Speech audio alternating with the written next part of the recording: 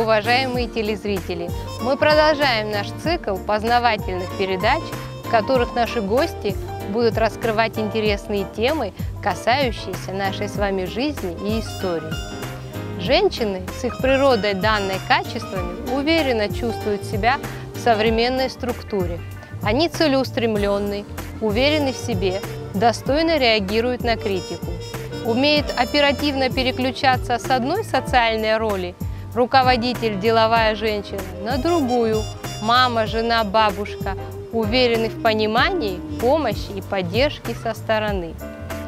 И сегодня мы узнаем, в чем наша героиня находит вдохновение для работы, что для нее важнее, семья или работа, в чем особенность менталитета наших женщин, обо всем этом и многом другом мы поговорим с главным редактором журнала «Леди Босс», председателем общественной организации «Деловые женщины Абхазии» Юлией Гумба.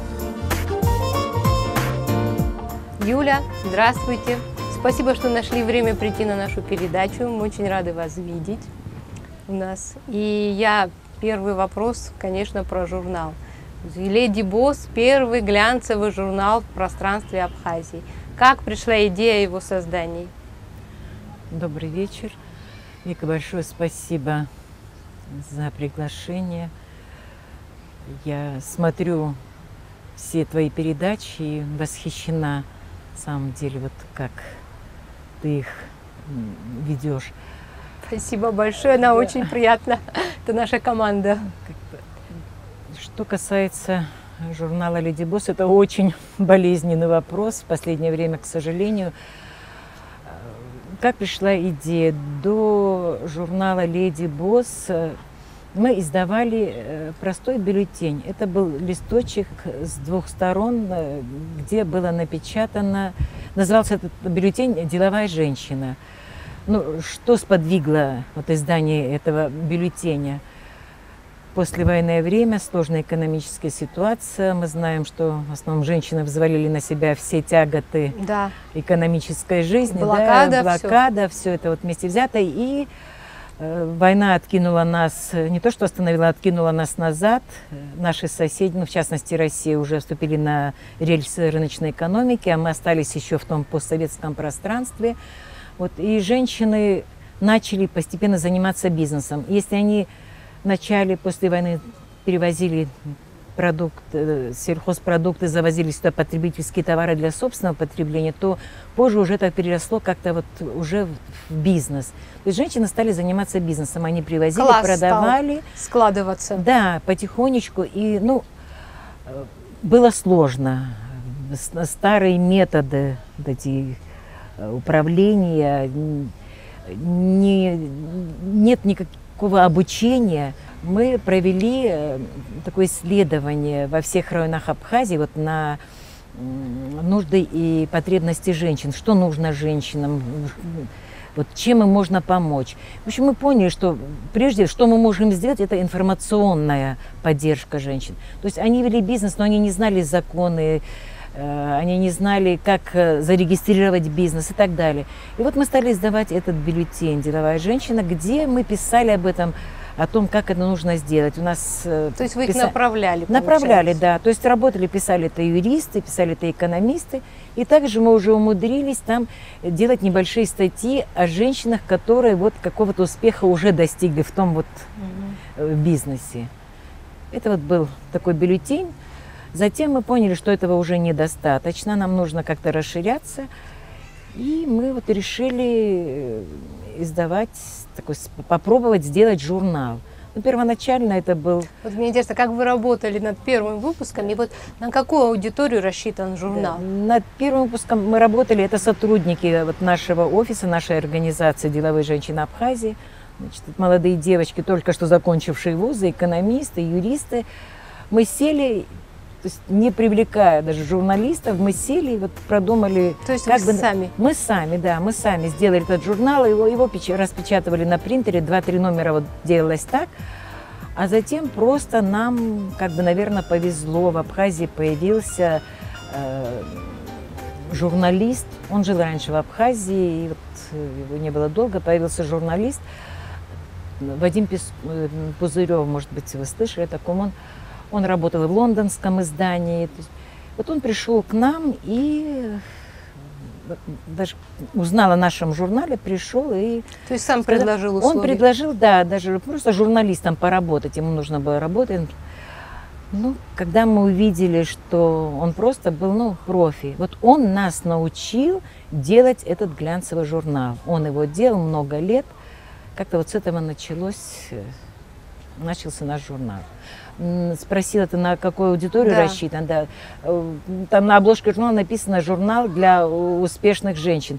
Это не подразумевает, что журнал предназначен только для женщин. Конечно, нет. Он для широкой аудитории. Это молодежь, это э, обязательно и мужчины, потому что в журнале ведется, э, велось очень много различных рубрик. Очень интересно, кстати. Да, Я наверное, помню, мы ждали, ты- когда выйдет. Ну, Да. Вика, ты, да, ведущая из вела то, да, мы вела потом об этом тоже да, про- да, в нашем команду журнале. повели.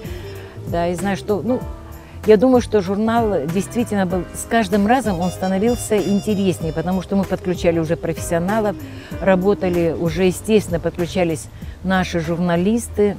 Юля, вот вы стали говорить о тех людях, которые работали. Вот мне интересно, как вы формировали редакционную команду? Я хочу, предваряя ваш ответ, сказать, что я очень рада и горжусь, что вы пригласили меня в этот журнал. Вы даже писали обо мне.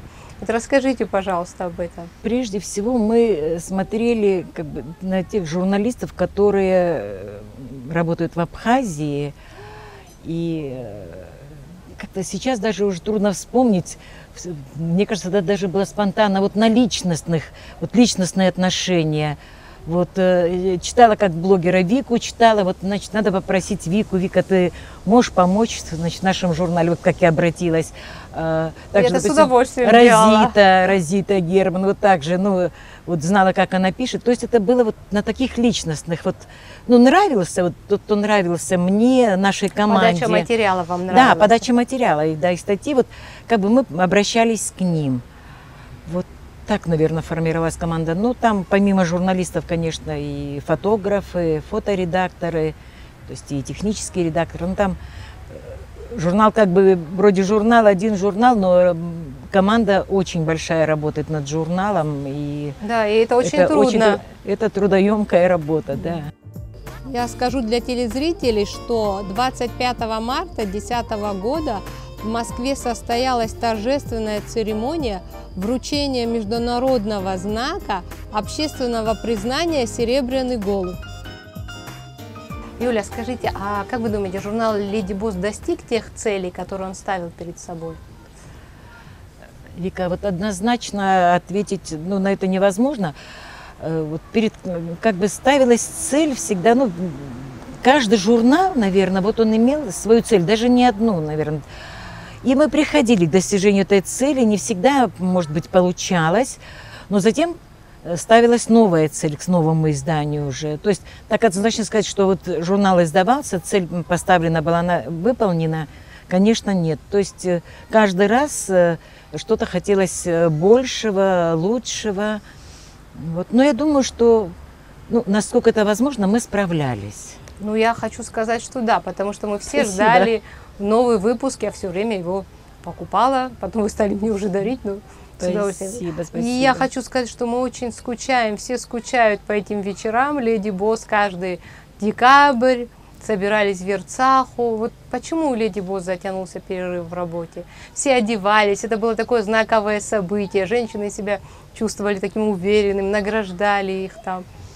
Я, Вика, вот э, вспоминаю все время, часто вспоминаю слова э, Сергея Васильевича Богавшего. Вот после первого нашего конкурса, когда Он он, у вас был, был, с да? супругой был, да, на этом конкурсе, и он после этого сказал, Юля, знаешь, это надо сделать национальным праздником.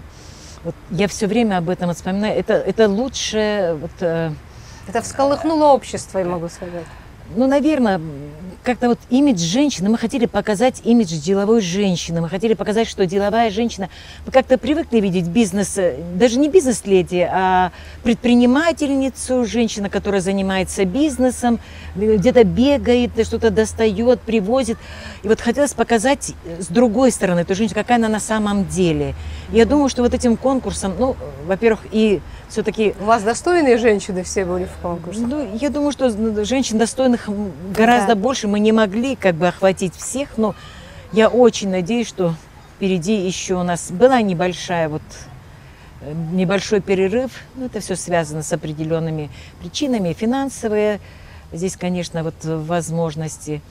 Вот, но я очень надеюсь, что мы и женщины обращаются, очень многие просят и говорят, вот мы поможем, мы поддержим, давайте возобновим эту работу. Ну, надеюсь. С удовольствием, с удовольствием всем ждем и все будем приходить на эти замечательные вечера. Юля, помимо того, что вы главный редактор журнала «Леди Босс», вы еще и председатель общественной организации «Деловые женщины Абхазии». Вы много работаете с женщинами нашей страны. Как вы думаете, в чем особенность менталитета наших женщин? Вот прежде чем издавать журнал, мы, конечно, начинали работать вот именно с женщинами. Мы начинали работать с женщинами и помогали им не только информационно, э, мы организовывали поездки. У нас очень хорошие партнеры в Москве. Это международная организация, общероссийская организация лидеров мирового сообщества. У нас э, хорошие партнеры в Армении, у нас э, в, в Дубае хорошие партнеры, организация деловых женщин. И вот мы э, очень хотелось э, показать не только женщинам дать информационно, а чтобы они на практике это увидели. И мы выезжали, и очень много вот наших женщин выезжало на, на конференции, на деловые форумы. И мы были и в Дубае, и даже на Кубе, то, что были там в Москве, в Армении. Скажите, а наши женщины отличались от других? Вот Вы знаете, что наши отличались. Да, вот и, интересно, Да, наши отличались, наши женщины были, ну, пусть никто не обижается, на голову выше. Знаете, мы когда, мы когда приехали на Кубу, и мы, э, нас встречала э, организация, значит, деловые женщины Кубы, которую возглавляла, представителем которой являлась дочь Фиделя Кастро. И мы привезли свой журнал, еще это были первые наши журналы, и лежали их журналы, но они когда посмотрели, они, они знали об Абхазии, то есть они знали, кто вот будет на этом форуме, то они уже, они так удивились, что в Абхазии издается такой журнал глянцевый, вот, ну, настолько ну, вам сложно. Кастро дочка должна Дочь, знать, он да, же бывал здесь. Да, да. да. То есть наши женщины, они ни, ни насколько не уступают, а во многом они впереди очень прогрессивные. Если говорить о менталитете, вот э, в наших женщинах все-таки, вот, если мы говорим о бизнес-леди, знаете, все равно видно, что на первом месте плане у них семья все равно. Вот все равно семья. Вот, э, хотя э, семья, а потом уже бизнес, потом уже карьера. И даже в основном многие наши женщины ведут этот бизнес вот ради семьи, чтобы поддержать семью. Вот в этом, я думаю, что особенность. Вот я сейчас хочу вас спросить, вы общественный деятель, деловая женщина, мама, жена, бабушка. В чем источник вдохновения для вас? Можно ну, вас думаю, сильной женщиной назвать? Сильно меня можно назвать, наверное. Ну, источник вдохновения, я думаю, вообще для любой женщины – это ее семья. И это люди, очень люди, которые ее окружают. Знаете, никогда я одна и там несколько человек рядом, мы не смогли бы добиться того, вот чего мы добились, э, что мы сделали. Это те женщины, которые стояли рядом со мной, которые всегда поддерживали меня, которые, и не только женщины, кстати, вот, э, которые шли вот нога в ногу вместе со мной. Я думаю, что это вот придавало мне силы и возможности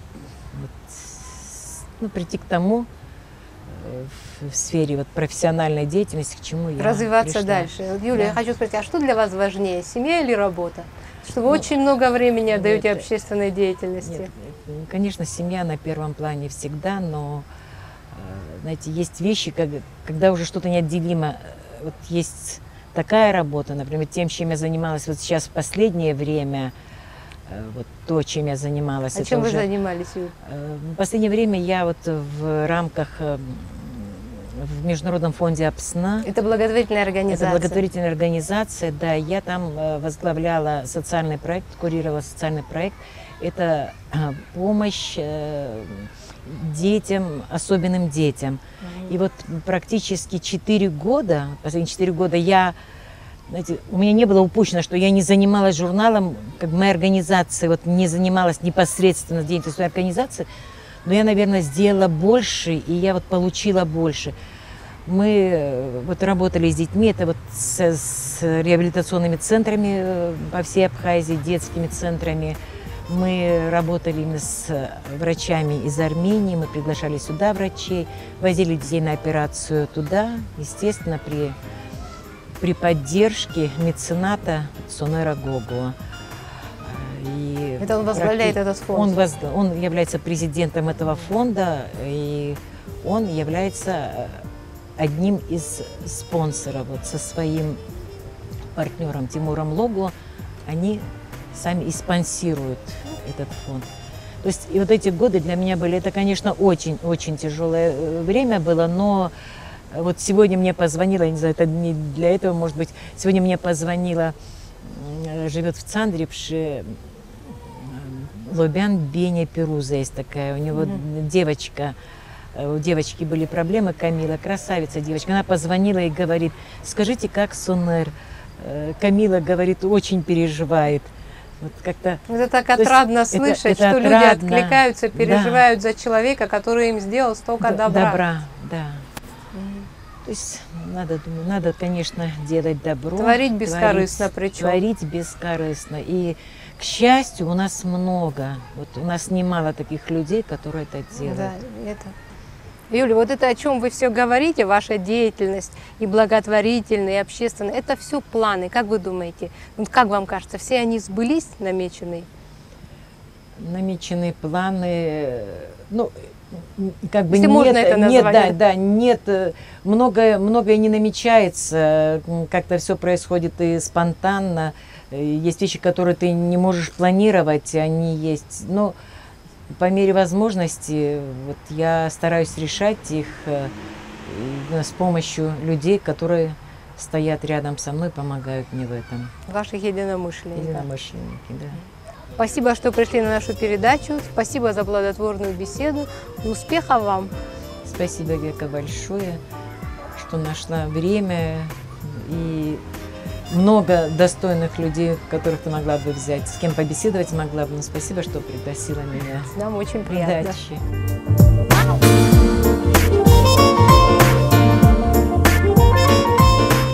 Проблема полной реализации своих способностей в достижении жизненных целей может быть решена только сильной духом женщиной, которая не уступает своим принципам и умеет сочетать качества настоящего лидера, сильный характер, профессионализм, инициатива с традиционно женскими ценностями, такими как чуткость, гуманность, гибкость, практичность, что и делает их настоящим руководителем, таким, как наша героиня. А мы прощаемся с вами.